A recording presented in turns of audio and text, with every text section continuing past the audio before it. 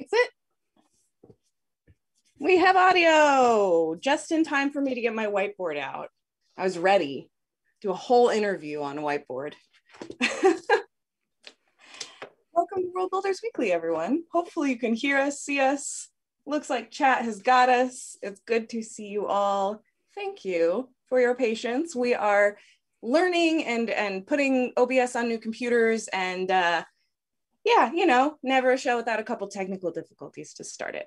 But yes, the stained glass behind Heather, hold on just a second because we have the artist's name. It's called Classic by Nenuil, as seen on DeviantArt. Uh, and it is delightfully appropriate for the conversation today. Oh, the, the background never wants to cooperate quite properly. Um, it's, it's really great. So let's get right into it. My name is Jamie. I'm the director of outreach or community engagement or something like that for World Builders. Uh, every week here on World Builders Weekly, we're bringing you the latest news, treasures, deals uh, from the market, new products from the market. We got trivia. And uh, today we are so lucky. I am going to geek the heck out with our guest, Heather Slutsky. Welcome, Heather. Hi, thank you very much. I am glad to be here today so excited. So we're going to get through trivia super quick. Uh, last week's question was in the 1976 American science fiction action film Logan's Run, what was the name of the ceremony used to maintain equilibrium by killing people? And what at what age were you expected to participate? So the answer is carousel and 30 years old. So, sorry guys, gotta go. Uh, I haven't seen this film, but it is a classic sci-fi. So if you are a sci-fi fan, hopefully you sent your question or your answer in to one of our social medias. If you want this week's uh, question, please don't say it in chat. Put it in uh, a DM on Twitter, a DM on Instagram. Basically, message us or email us, and we will enter you for our trivia prize. So this week's trivia question is What was the name of the 1977 post apocalyptic film, which was loosely based on the 1969 novel with the same name? Remember, no comments in chat, just DM us. Okay. I think that was our fastest announcements and trivia ever because I'm just so excited to talk. Uh, so our guest today is Heather Slutsky, who weaves together compassionate healthcare education, supportive workplace environments, and a view of holidays and events that I personally find incredibly refreshing. Welcome and thank you for joining us, Heather. I'm really excited to be here. Thank you guys for having me. I appreciate it. And speaking of geeks and their own holidays, may the 4th be with you. And with you as well. it's that's my favorite response. Um, you know, it is cheeky, but it has really become kind of a mainstream recognized holiday, hasn't it? It certainly is getting more traction as a day that needs acknowledgement and and creates a kind of space of its own. I thought a Star Wars question would be too obvious, guys. I'm sorry. I should have done a Star Wars question chat was calling me out for having a trivia question that wasn't Star Wars on May the 4th. But anyway, I digress. what, Heather, let's start from like the basics. What's your proudest geek moment? Where's your your geek hybrid and events? Okay, so I live in North Georgia, and there is a little thing that happens here on Labor Day called Dragon Con, which for anybody who's not familiar, 40,000 of the nerdiest people you have ever met take over five hotels in Atlanta. And I learned a long time ago the best place to be in a parade was in it, that it's much easier to see a parade from inside it than from the side of the street. And on Saturday of Dragon Con, there is this huge costume parade. So my son and I were in the parade, and at the time he was five. Okay. And cool. when you are in costume and in that parade, but you are from different nerd universes, they put you at the very front with all the fancy dragons. So he was dressed as the Green Lantern, and I was dressed as an intern from Night Vale. And so we were at the very front. Eh, with having a kid that young, he and I had talked a lot about what we would do if he got separated. And so the whole Right. plan was that he should find anybody else with a child, like any Yeah. parent, any place. If they were walking with a kid and we got separated, my phone number was written on the inside of his arm. He was just supposed to go up to people and be like, Yeah, I remember because every this as a parent there yeah every parent there has got a plan. So this family is getting a spot by in front of the parade. They're walking around. Their smallest. There's like five kids and two adults. Their smallest gets mesmerized by one of those multi-person chinese like new year's dragons or ones i think of for new yeah, year's yeah. and he just goes like zombie. he just bonk and is uh, so mesmerized by this dragon. And his parents don't see it. Uh-oh. And they are walking in a hurry trying to get in place for the parade. And I yell, Dad! And the guy stops because it's that parent voice. Right, the parent tur-. Yeah. And he turns around and I was like, Count your kids. And I like watched his head move and realized he was one short. And I was like, over The there. Panic rising. Yeah. And so my proudest geek moment was that I was so hyper fixated on like keeping track of my own kid that I saw this one kid not end up Yeah. lost at the start of the Dragon Con parade. Um, so that's my biggest, proudest like nerd. Is you were a real life superhero there for a moment. I, I feel like for a brief moment I I could have done you, that. you yeah. leapt into action and you saved the day. But really, that I mean, it's especially like getting lost in the grocery store as a little kid is one thing. Getting lost in a costume parade might be a little scarring for life. oh yeah. Just think of all That the movies you would really no longer be able to watch. So we're talking. So Dragon Con, you mentioned taking over like five hotels. Your your sort of another bread and butter thing for you is working with the JoCo Cruise folk. Um, so convention lo- lobby hangouts, cosplay groups, the cruise. Are these? Do you see these as like the seeds of holidays? So I think that when you're thinking about celebrations and holidays, you have the kind of things that you do for yourself or your immediate family. You have the things that you do in your community, whether it is your faith community or your nerd community or whatever. And then you have stuff that you can do at kind of an organizational level. What impressed me so much this year about the JoCo cruise was how, even through all of the technology, it was still so clear that those people were friends who needed this time with their friends Mhm. to to think about what this year has been like to daydream about what next year might be to throw back to all of the jokes that have been funny for all time. So in their own way dragon con JoCo all of those sorts of things do have that sense of community around them that is one of the things i think the internet has made possible yeah. is that I am the only Doctor Who fan I know in person, basically. I have a lot of people I can talk to outside of that community. I could go to Gallifrey, you know, I, there's a lot of that sort of thing that can happen, Mhm. but that's easier because of the community that happens through the internet. yeah the internet has changed a lot in terms of i think just those social groups um, and and being able to connect with folks who are like interested in just the exact same thing that you are and to me a lot of celebrations that we participate in mainstream we participate in out of like route out of habit and out of commercialism that Right. you know go go buy something green and get drunk on st patrick's day and it's like well do, do we even know what st patrick's day is right um so what what's your And do you- tomorrow is a great example of that. Yes to, will you tell us a little bit about that how sort of like the perception and what could be a better world So, so tomorrow, Cinco de Mayo, the most, probably one of the most reliable business days for Mexican restaurants in the United States.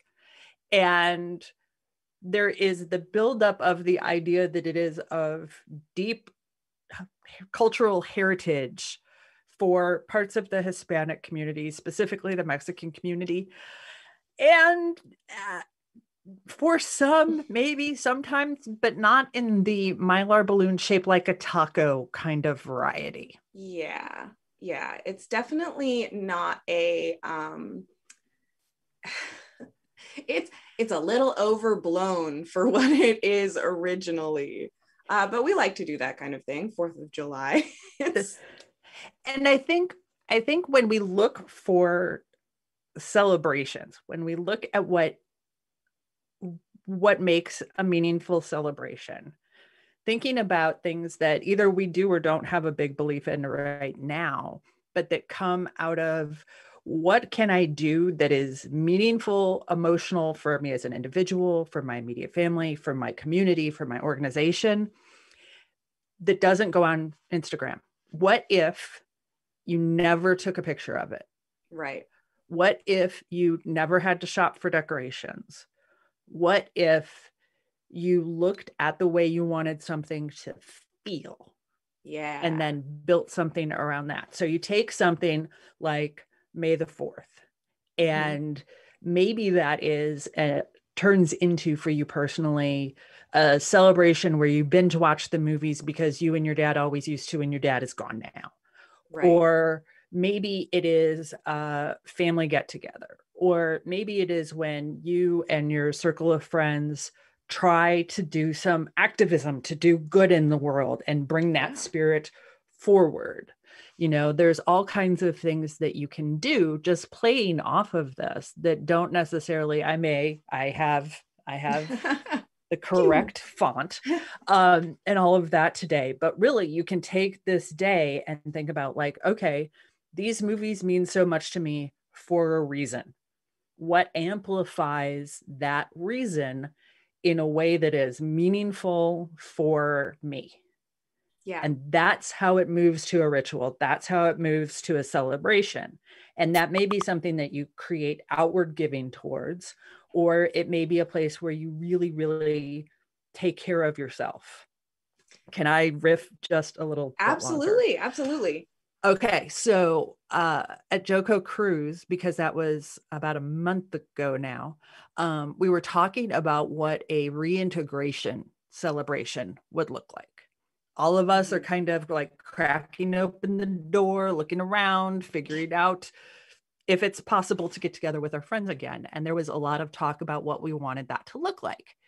And in the aftermath of that conversation, I realized the thing that a lot of us are inclined to do in celebration, which is get together and eat, mm-hmm. it's probably not the thing yet because we're all going to come out of this at our own pace. Yeah.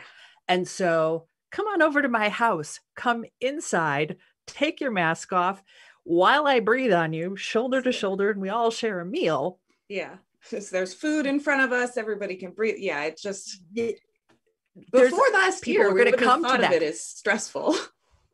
Right. But right now, there's a varying degree of stress about that. So if everybody gets together and goes and plays, you know, frisbee golf and bags and and there is food there that you can approach however you want to that's a different way to do reintegration.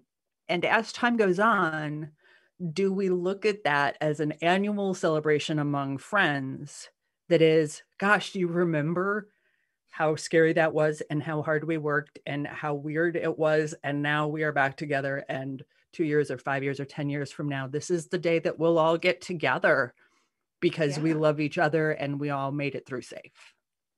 I think it's so important to acknowledge these big life passages, whether they're individual or communal.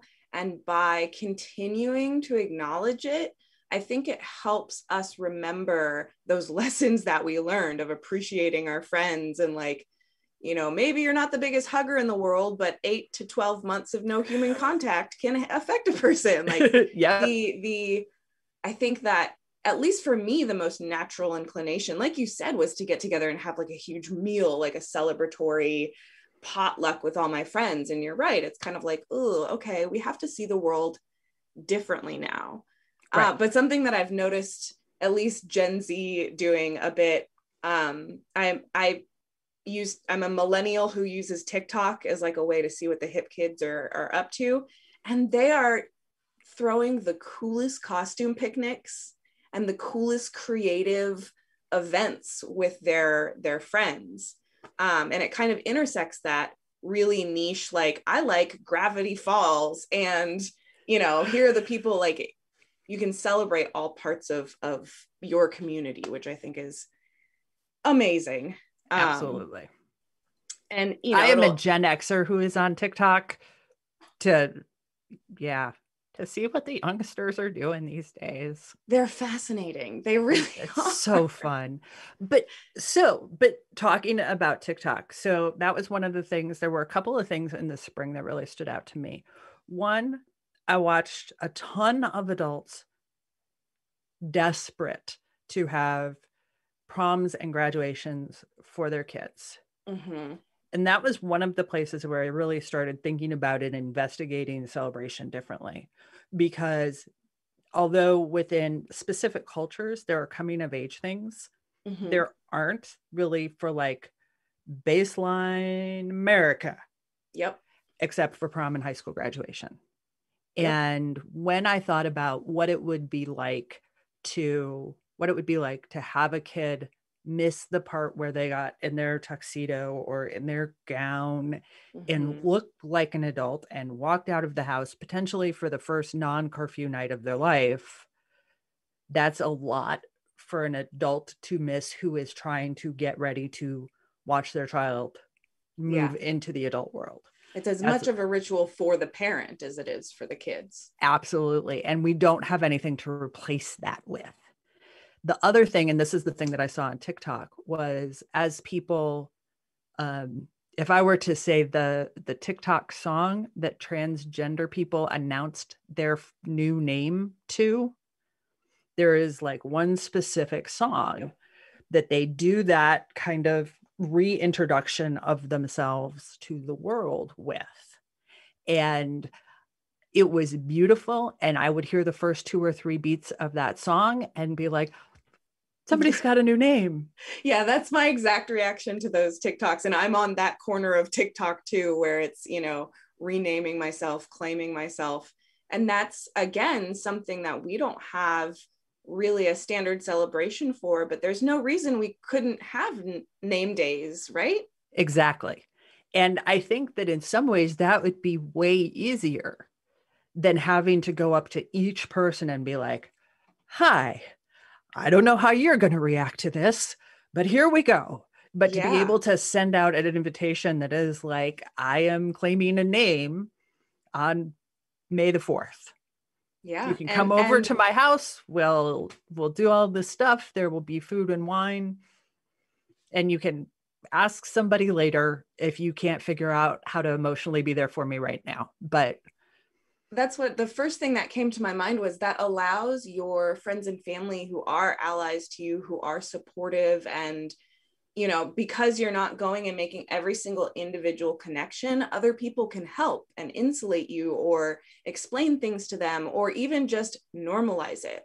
Right. And so when aunt trudy calls and is like what's this invitation to a name day for, you know a, a name claiming ceremony for you know this this kid in our family? And then the parent can say oh, well, my kid is trans and that's this is what this means and so that kid you know the individual doesn't have the onus of every single conversation. Yeah i think it would be not only like it it is removing trauma and creating empowerment at the same time. Right. So that one is a particular soft spot for me is like why don't we adopt those um late in life changes in more yep. official way because we do for weddings right i think that's probably right. our biggest ceremony but even weddings often are more um, expected ritual than meaningful ritual right how do and you approach it oh, go ahead. so so where i approach it from really anchors in what happens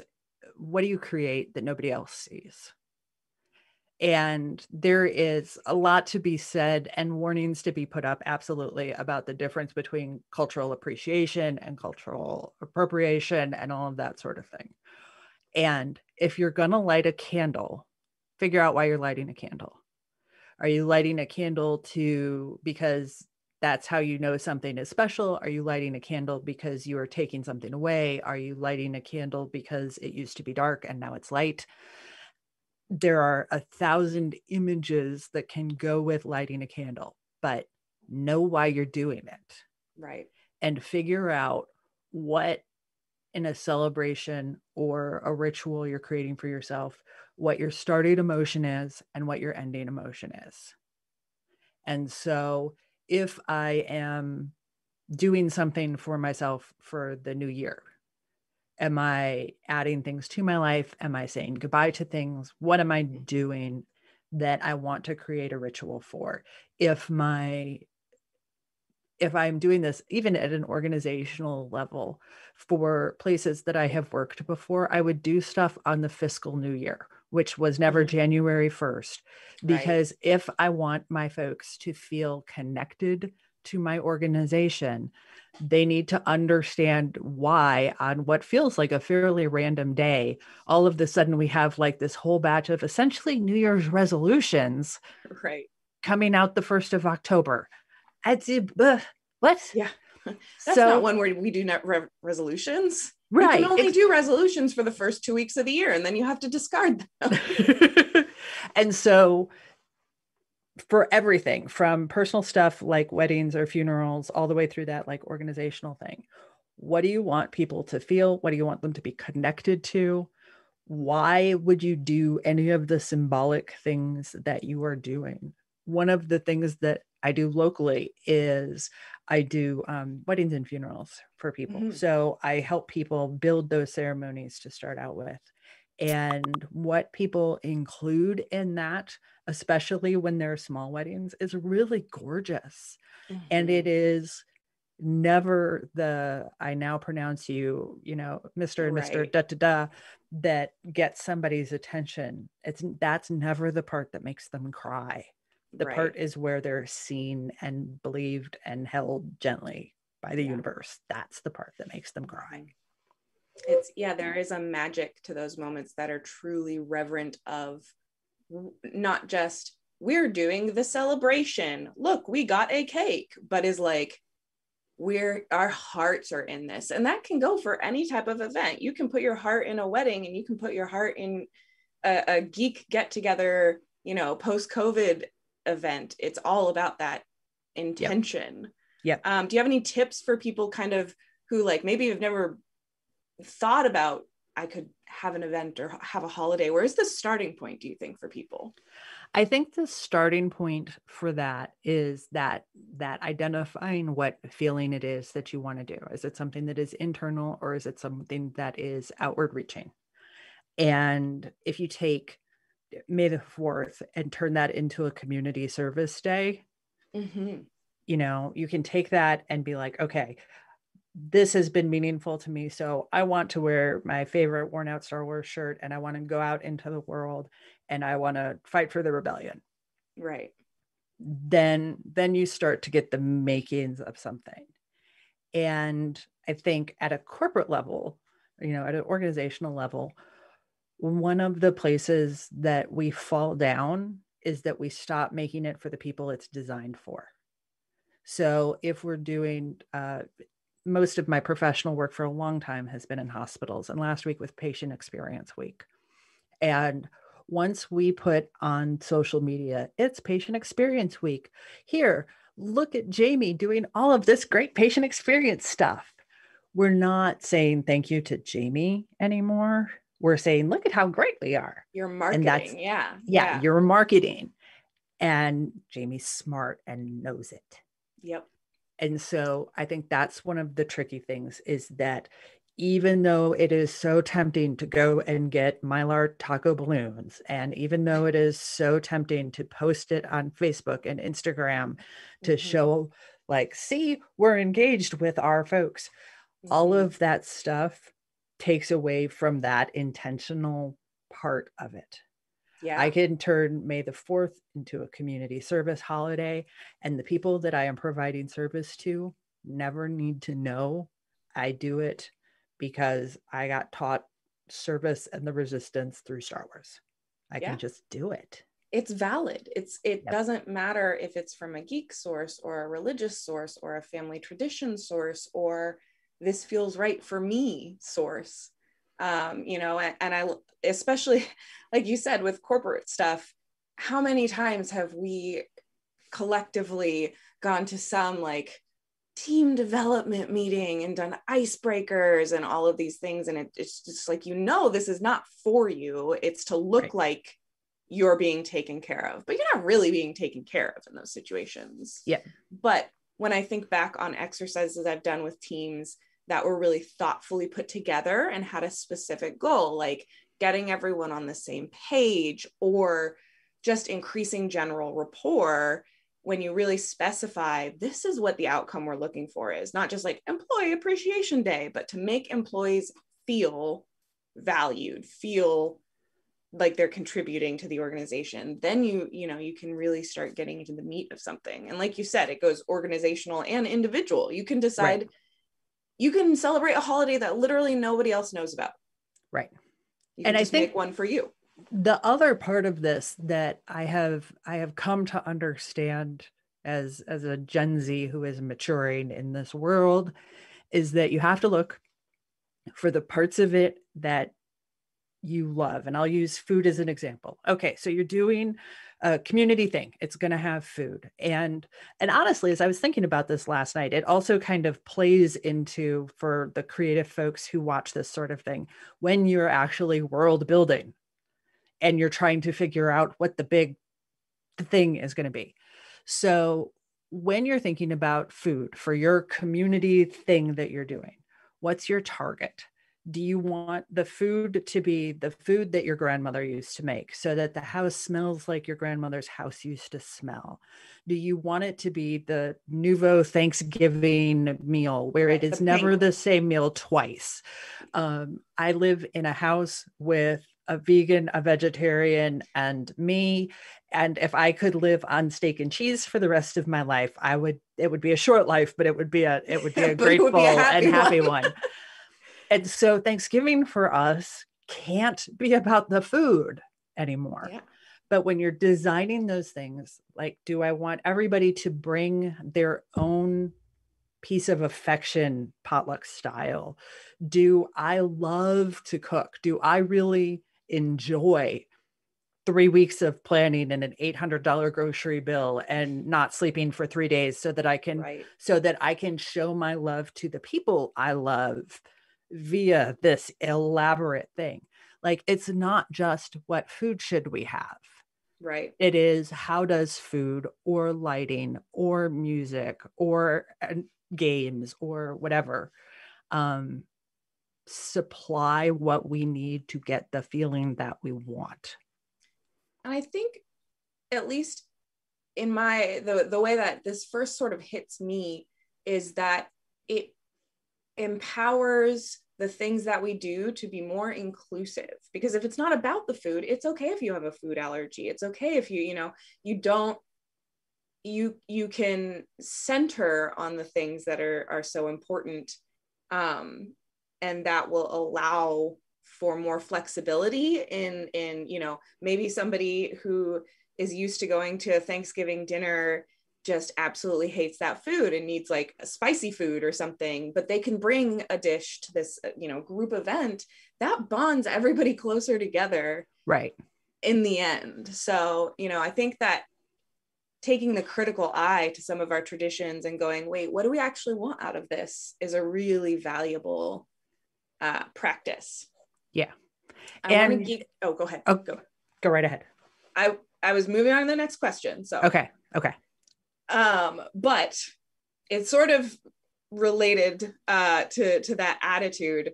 Um you recently had KC Davis on your podcast. Yes. huge fan. Huge fan. Um she is her her book's amazing. Her methods are amazing. If you don't know who KC Davis is she does struggle care which um creates uh, offers a framework of morally neutral home care and self-care and it is life changing. It is a revolution. It is It 100% really a revolution. Yes. A- and I see, like, I genuinely see your work as like the holidays, rituals, events version of that reanalysis, that that total shakeup of what's expected. Um, what sort of principles do you feel like your work shares with KC, and how is that conversation? How was it? So, first, KC is absolutely as lovely as you would hope she would be to have a conversation with. She was, um, she was absolutely tremendous, and I was so delighted as somebody who's running essentially a first season podcast right now. Um, it was it was an intimidating thing to reach out to her and be like, "So, I really like you. Will you be my friend for forty five minutes, please?" Right? um, I think where the work overlaps is that idea that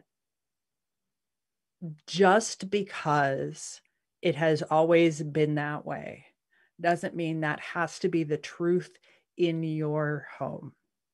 So I have a theory about why nobody buys modern holiday albums. Would you like to hear the theory about why nobody? Absolutely, I would. because lots of people make Christmas albums Yeah. and we all still listen to Bing Crosby. Like Bing Crosby still hits the charts at Christmas time every year. And I think that is because we have tied the look of our family's face during the holidays, listening to that music. That's what we bring forward for holiday music Mhm. is that we, for those of us who have, and I certainly do, fond family memories, like you put that eight track on, and my grandmother, who on the joyful grumpy balance was a little tip towards grumpy. Um, that was such a polite way. but you take, she gets lighter listening to that music.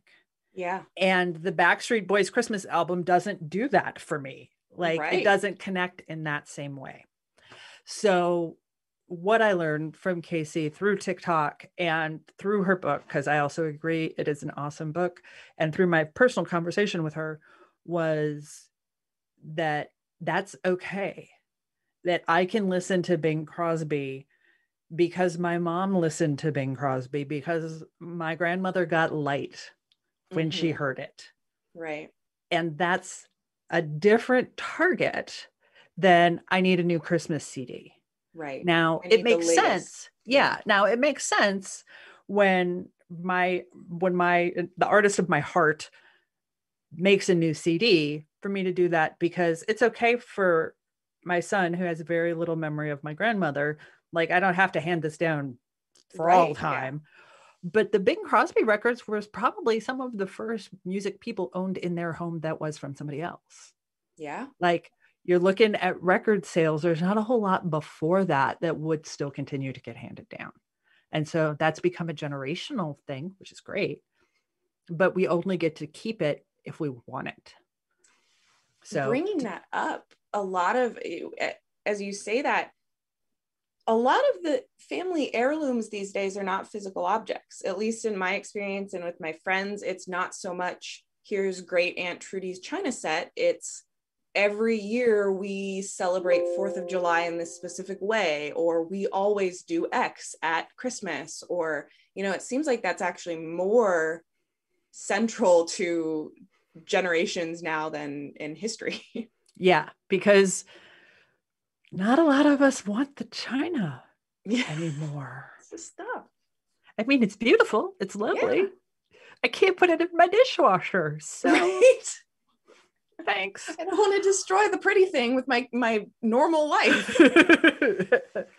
and I think that that's the the other part of it is that there is the switch generationally between like we get out all of these decorations and spend weeks at a time doing this. That that is when you had three or four kids who came over to help. That is when one of you was home most of the time.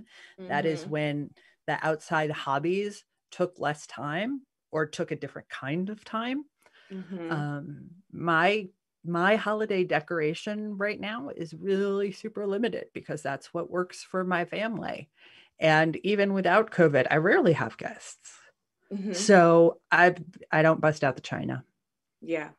it's it's it's very different now i mean even in one generation my mom was so good at holidays we had rubbermaid tubs upon rubbermaid tubs of decorations she had special recipes and a lot of those things i like to continue but it's like there are more decorations in her garage than closet space in a in a young person's home. Like it's just it's different now. And she used to like you said spend weeks you know putting stuff up on the roof you know putting a giant santa cutout. And it's like in modern times especially after covid it feels so much more important to say can i just see my friends? And can we celebrate togetherness? And Yeah. you know kind of returning to those roots I will I will make my grandmother's cookies and I will watch a Die Hard. And we will all be under the same blanket and snuggling. Mhm. And that's what I want to take forward. That's Time that includes rest, Mhm. eating the things that smell like my childhood in a Yep. nice way.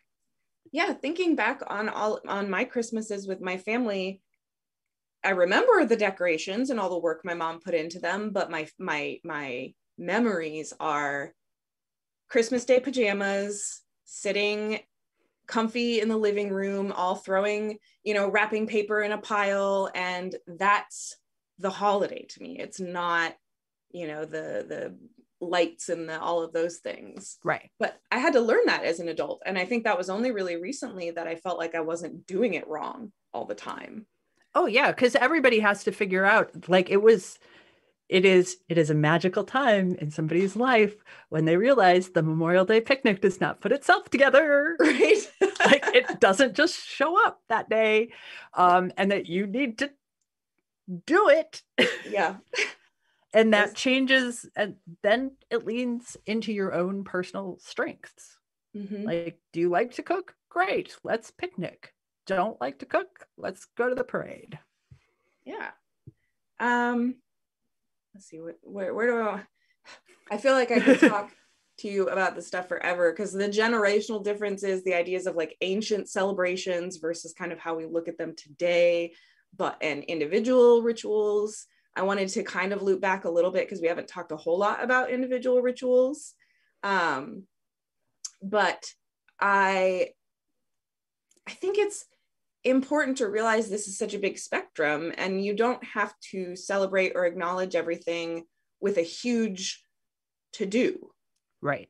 Um like for me i have a ritual for when i'm journaling that i always light a black candle and a white candle to remind myself that we are all shadow and we're all light. We are all nobody's perfect nobody's evil. We are all both. And that's like it takes me five seconds. It's not a super you know i don't say like a chant with it or anything but that ritual always grounds me back to my purpose for that Yeah. do you have recommendations for people who want to um you know maybe identify places in their own life where celebrations or rituals would be useful I think, and I think that this is something that came kind of to light for a lot of people over over this last year. Um, once we were no longer transitioning in and out of spaces, that we were like, wow, my work life balance is now just this all big swampy pile of stuff that all happens from this one chair all the time. Mhm. Um, and I think that that was a challenge for people. So, at an individual level, thinking about where the transitions in your day are and where they should be, um, I take great offense at the mentality that everybody always has the ability to get up just 20 minutes earlier in their day so they can do morning pages or do yoga or go for a run or start that new sourdough bread loaf or whatever. Uh, we are not infinitely made up of 20 minutes increments earlier in the day. In fact, some of us don't think until 11 a.m., no matter when our eyes open. And so trying to be respectful of that sort of thing. yeah So thinking about those transitions. I would also move that kind of transition awareness uh, towards like corporate and organizational stuff. If your break room is the OSHA posters and the equal opportunity mm-hmm. posters and the, you know, keeping track of how many millions of dollars of product has been stolen from your organization and what you're supposed to do if you see your colleagues stealing stuff, that's that's not a break room. That's your timeout space. Yeah. And that's different. That's such a good way to put it. and that is true for where people walk in and out when they work someplace too. Like what and I think the part that people miss who run organizations is that when people leave the building, they're not leaving work, they're going home. Mm-hmm. And so, what's the last thing you say to the people who work for you as they go home instead mm-hmm. of just leave their productive hours for your organization? Right. So, yeah. back to your actual question. Sorry. No, I've got all, all of these soapboxes around me. I just haven't had a chance to climb up on all of them yet. Um, so, when you're looking for things, think about the things you want to remind yourself of. Like you said, the candles being both light and shadow. Think about where those reminders serve you best. Think about where those transitions happen in your day and be mindful and honor the places where your energy is low and mm-hmm. don't assume your energy must always be good. Mm-hmm. Energy waxes and wanes, and you have to have things that serve both of those. Yeah. In my own home, I have a grid for if I am uh, high energy and high braininess versus low energy. You know, if I am happy and feeling brainy, this is the kind of stuff I do. If I am mm-hmm. tired and not feeling brainy, this is the kind of stuff that I can do so that I can honor the ways that I feel when I feel that way. And I don't have to reinvent the wheel every time that that very much rings back with KC Davis's her her uh, closing duties, especially. I think that's such a good ritual.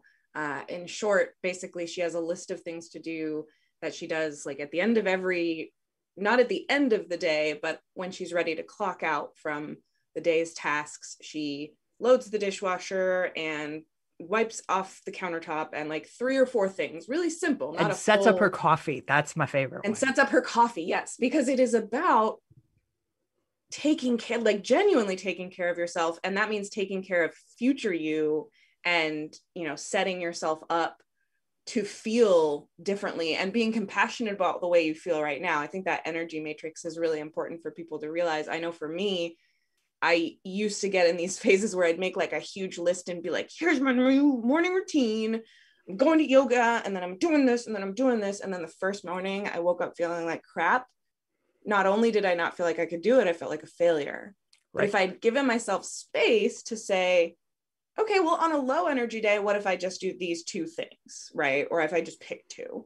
Yeah. Um, and it, it, I, I think it is difficult to uh, express how life changing that attitude can be applied to you know anything that you're doing applied to this applied to home care applied to work and i think and i think the the addition to that mm-hmm. is that there is a lot and it particularly comes up in in women trying to help other women find their strength and that sort of stuff. The idea of you should give yourself permission to whatever I personally kind of resist that phrasing mm-hmm. and much more go with you have the authority to do this because asking for permission is still a conversation with some out of body other about what you are and are mm-hmm. not allowed to do.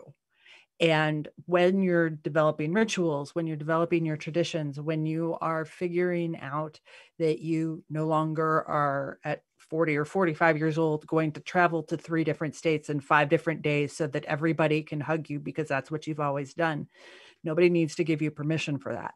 You have right. the authority to make that decision in your life. And that for me was a change in mindset that was really meaningful because it made it a lot easier to not articulate the invisible other who's supposed to grant me this permission yeah. and instead just rely on myself much more of a, a basis of self-empowerment and and allowing your intuition to really rule how your life is is working instead of oh like you said like traveling three to three different families in five days that's the kind of stuff that when you say it people go, oh, that must be Christmas or that must be a holiday because that's, we know, like we all associate putting yourself through a whole bunch of stress with some of these traditions. And yeah, there's no, you have the authority to change things so they work for you. You don't right. need permission. That's a great. And you absolutely have to, you know, take care of grandma, you know, make sure right. you see her. But really, there's nothing magical about some of the days that we decide to do that to ourselves. Yes. Yeah, absolutely. Especially when it comes to the the large sort of universally, obviously not universally, but widely celebrated things. Um, you know, just the assumption that okay, well everybody will be off because it's Christmas or everybody it's like society is so much more individualized and I think it would be a really beautiful world if we you know i would love to hear about somebody's holiday instead of hear somebody you know commiserate and whine about traveling during the holidays right? Like wouldn't wouldn't the conversations be so much better if there were we were learning about if it was more diverse i guess is the easiest way to put it. Well and i think the other part of that is wouldn't it be neat if there was a city that would commit to big picnics and lots of lots of joyful games and that sort of stuff and absolutely 100% pinky swear zero fireworks for 4th of July. How many folks, how many people do you think who deal with some form of PTSD would be like, I am going to no fireworks town for the 4th of July and I am going to have a picnic and I am going to have my nervous little ridiculous dog with me and mm-hmm. we are all mm-hmm. going to sleep well that night. Yeah. Because the things we struggle even to adapt to the realities versus what it always felt like.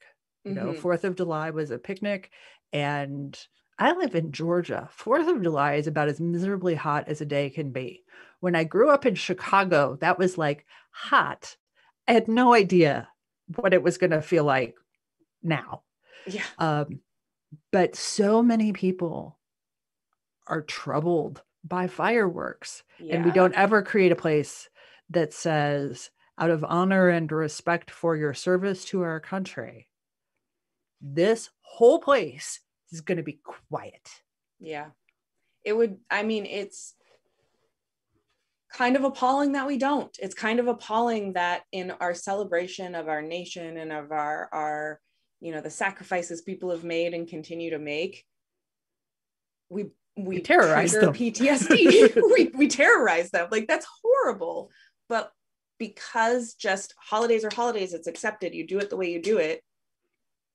You just keep doing it. So right. I think, you know, large large scale, it would just thinking about that world and how different it would be is really inspiring and and then kind of reconnecting it like as we form our own rituals for the intent of our lives to build towards that world building a better world hey we're on theme and if anybody who's watching this wants to build beautiful fireworks that don't go bang, like I don't mind sparkly stuff in the sky. I think that's real, real pretty. Um, but without the bang would be cool. Yeah, yeah, definitely. Let's maybe normalizing laser light shows. yeah. yeah, we could do that. There's there's all and I guess we're we're running late on time, but I think my maybe last um little thing that I want to touch on is how fun this can be. Like how okay. fun you can make your events when you're not just going by what you should be doing. Do you have any like favorite examples of like the coolest event or you know like... so so i have i was um i've had two sets of in-laws in my life. I was widowed in my late 20s and that group of my family is still a really super important part of of my life. And that has that part of my family celebrates chicken day. And chicken day happens in the summer and it is uh, my first husband was one of five children and the wow. other four have survived and they have who are people who are now adults children of their own and there were spring birthdays and fall holidays and winter holidays and no reason to get together in the summer right and so there was then chicken day and it was a all called event like you we would move chicken day if we had to but you will be at chicken day it will Mhm. not surprisingly include uh, pasta and chicken um, but it was just the most clear cut holiday of my life Yeah. because you came to chicken day because we don't see each other enough so come here share a meal be together perhaps consume adult beverages in vats um In excess. but But that But- like that's fun, right? You're not just there Right. to drink because you don't want to be at that party. right Which is a lot of holiday parties. but but yeah just to take the thing and just start announcing that it is a day i also uh, my mother created cake day which had kind of the same sort of vibe um, it was a different kind of retirement party where it was just simply like we're going to have cake we're going to have cake we're going to have cake we're going to have cake. And then we had cake. And it had a lot more energy to it than this person is retiring today. Everybody come to the break room at 3.15 and have a piece of cake. Make sure you sign the card. Mildred has it back behind the counter. Go ahead. Yeah. um, but cake day anything that you're willing to put energy into will give you energy back and it's often the same kind of energy you put into it so if you put in the like get the big bottle of whiskey because dear god we've got to go to grandma's again um that's that you'll get that back too Yeah, That's such a good point and a lesson for all sorts of facets of life. Um, just a really, really important uh, concept. Thank you so much for talking events with me today. I swear I could let, ask you a million more questions and just I'm sure that we will geek out about this off stream in the future. Um, I don't know if you remember. I don't remember the TikTok song, the the song that people use for their name thing. Do you remember which one it is? Chat was asking. oh Yeah, I don't remember. I'll try to look it up afterwards, and if I, I'll put it in the World Builders Discord. Yeah. Um, because that like it's TikTok doesn't really tell you that kind of thing. Along the bottom, a sound will scroll, and you might see the song title in it, but we'll figure it out. but it is absolutely beautiful and it completely fits. I don't think that's what it was designed to do but it is Yeah. it is No, absolutely beautiful. Yeah definitely. So we will we'll try to hook you guys up with that tiktok trend. Um let's do a very quick lightning round. Okay. at the end of our show we occasionally ask guests some very straightforward questions. Okay. Uh, just first thing comes to your mind if we are going out and you would like a beverage alcoholic non-alcoholic whatever the occasion what is your go-to? Maker's mark neat. Maker's mark neat. Got it. Now meal of choice. If you could have delivery or even dine in if you could just like having a stressful day here's my favorite place or, or my favorite meal. Nabeyaki udon. Ooh, good choices. All right. A great read that you would recommend. Evolution man or how i killed my father uh, which is hard to get and the funniest book i have ever read in my life. How, how what was it? Evolution man or how i ate my father. Sorry or i how I, misspoke at the hate, first how I ate my father. How I All Ate My Father. That intrigued, very intrigued. and then you're kicking the on pre the Netflix or- prehis I, I, Okay, so go ahead. the prehistoric beginnings of high jump is part of the book Oh, I, yeah. I now I'm gonna have to read this book. It seems it's difficult to read and fascinating, or like. All right, so you're scrolling Netflix, Hulu, Amazon, whatever. What show are you popping on to watch? doctor who Doctor Who, classic, classic.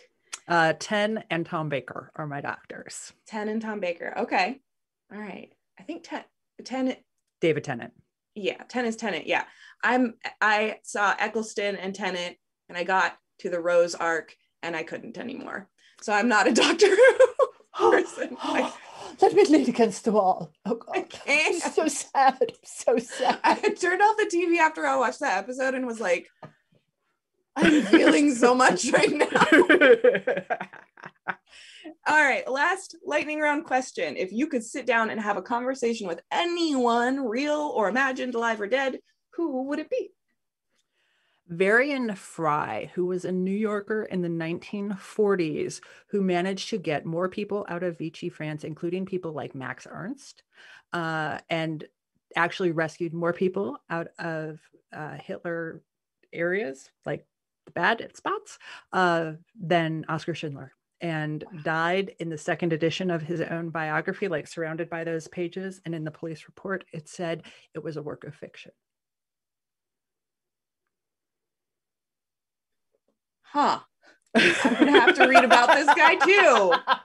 I'm learning so much. I, I now I need to learn about both of them. What was the first name? Varian, V A R I A N. V A R I A N. Fry, F R Y. Definitely going to look that up.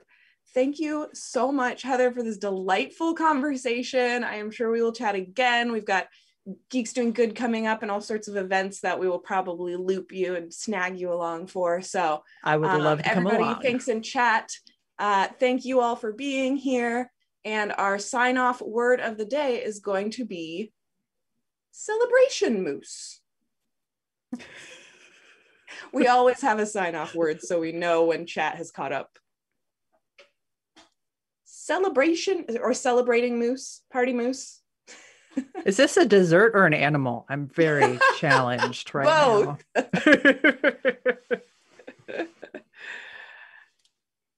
and I think we're offline.